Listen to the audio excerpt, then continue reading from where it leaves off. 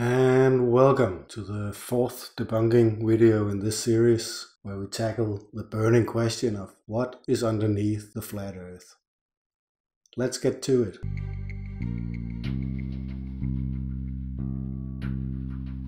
What's underneath the flat earth? This is obviously an unanswerable question since the assumed edge has never been known to be reached. Oh, good. We can move on then. Well, that was a nice short video. Oh, you're not done, are you? Damn it. Many people suppose that whether the Earth is round or flat, that either way, it still must be floating in the middle of outer space. Oh boy. You're going to deny the existence of space, aren't you? But the idea of outer space goes out the window with the round Earth theory. Many religious texts support an immovable Earth that has its foundations on which it is laid and its pillars by which it is supported. Ah, the but holy book argument. Look, retard. I'll say this once and only once. Ah, who am I kidding? I'm gonna have to repeat myself on this point all throughout this series, aren't I? God damn it. Okay, here goes. So listen carefully, all you retarded flat earthers out there. Nobody, and I mean nobody, with more than two brain cells in their skull cares about what a group of desert dwelling goat herders living out a meager existence in the Middle East 2000 years ago thought about how the world looked and worked. That is not proof of anything in any sense of the word. Moreover, they didn't know better. What's your excuse, you fucking dingbat? We simply don't know. Then why are we even talking about this? But we do know that the Earth is obviously fixed in place as we can tell by our everyday experience of non movement. Hmm. Okay, here's a concept you might have difficulty with. But like Sisyphus, I'll try this exercise in futility. Perception of movement is relative. That means, and I'm now explaining it for the retards out there, that you only feel you are moving if you have something you can compare your relative position to. So, if you're sitting in a train and the blinds are pulled, you don't feel yourself moving because you are moving with the train at the same speed as the train. So, relative to the train, you are not moving, so you feel nothing. The same goes for the earth. You and the atmosphere around you are all moving at the same speed. So, just like the example with the train, you feel nothing. I know this is hard for you flat arts, with all your, but I feel nothing, so I'm not moving. But trust me on this one, it is true. What we see in the skies above are illuminated objects making circles around us just as it appears. Oh, oh, it is the earth rotating.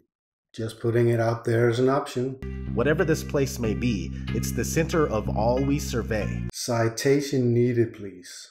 I'm sorry, dude, but I'm starting to get the impression that all your claims consist of mainly free imagination bullshit, just sprinkled with a little of I don't know, so therefore God on top. Hope to God I'm wrong, and you at least at some point start giving your audience a little respect and show some actual proof. Won't hold my breath though. Some say that the earth is the floor of the universe.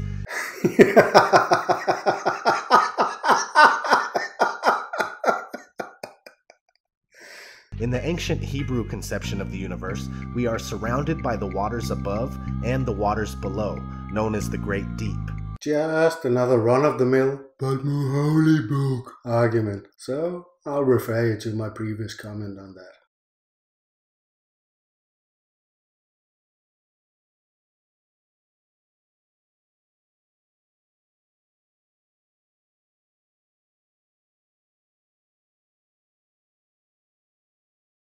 The deepest hole ever drilled into the Earth was a total of about seven and a half miles. The very core of the Earth is nothing more than wild speculation, if not another malicious lie.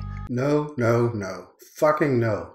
The composition of the core of the Earth is not pure fucking speculation. I know that pure speculation is what you do, and is all you know, but don't fucking project all your own stupidity onto the scientist you're criticizing, you nitwit. Whenever there's an earthquake, volcanic eruption, or an atomic bomb has been tested.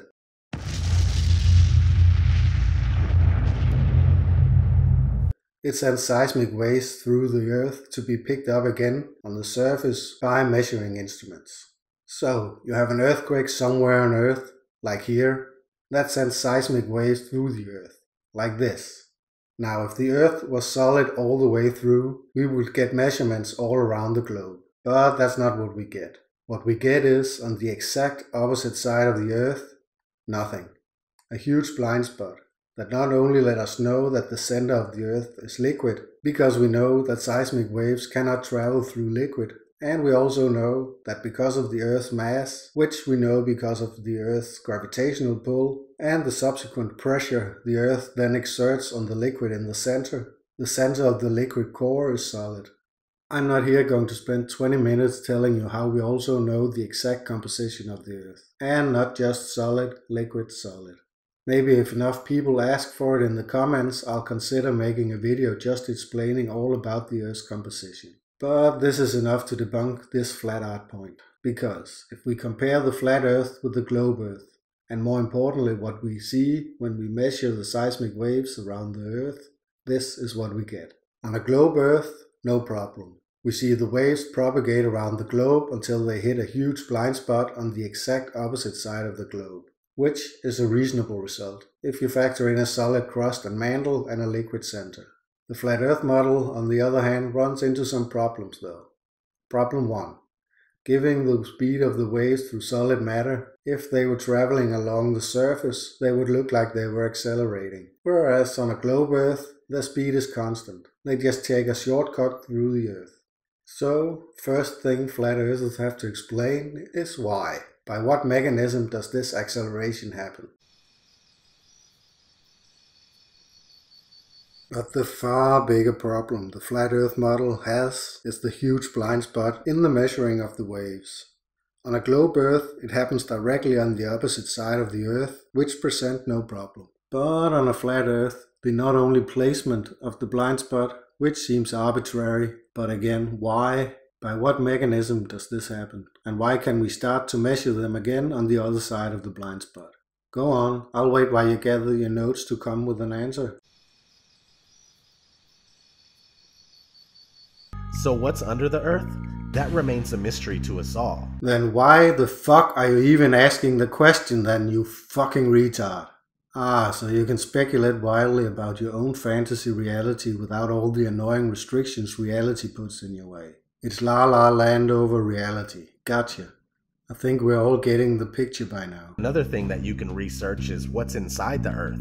Multi billion dollar deep underground military bases known as DUMBs. DUMBs, right?